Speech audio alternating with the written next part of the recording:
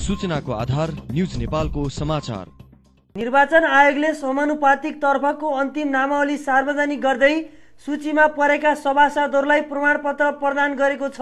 कार्यक्रममा पच्चिस दलका सबै सभासदहरूलाई प्रमाणपत्र वितरण गरिने भनिए पनि मधेसी जनाधिकार फोरम कार्यक्रममा उपस्थित थिएन। प्रमुख निर्वाचन आयुक्त भोजराज पोखरेल लगायत पाँचैजना आयुक्तहरूले सामूहिक रूपमा प्रमाणपत्र वितरण गर्नुभयो।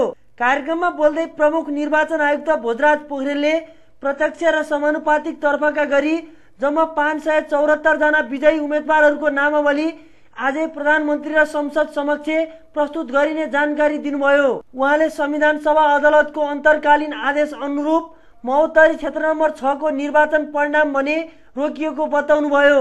सबैको सक्रिय सहभागिताबाट शान्तिपूर्ण रूपमा संविधान सभाको निर्वाचन सम्पन्न भई सम्पूर्ण निर्वाचन परिणाम प्रकाशन भएकाले आजै प्रधानमन्त्री र व्यवस्थापिका संसद समक्ष प्रत्यक्षतर्फ दुई सय उन्चालिस र समानुपातिकतर्फ तिन सय पैँतिस गरी कुल पाँच सय चौहत्तरजना विजयी उम्मेद्वारको नामावली निर्वाचन आयोगले प्रस्तुत गर्नेछ।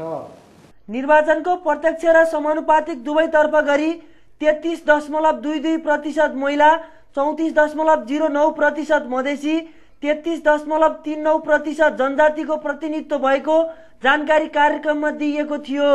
Sanjeev Bagale ANA dot com dot NP सूचनाको आधार न्युज नेपालको समाचार।